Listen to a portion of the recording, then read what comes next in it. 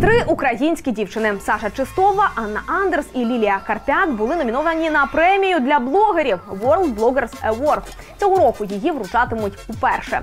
Церемонія нагородження відбудеться 24 травня в одному з готелів французької рів'єри, розташованому у Каннах. Премія вже іменується Оскаром для блогерів, що говорить про її престижність. Одна з українок Саша Чистова є моделлю. Що стосується Анни Андерс, то вона у 2014-му стала володаркою звання Міс Україна Усесвіт.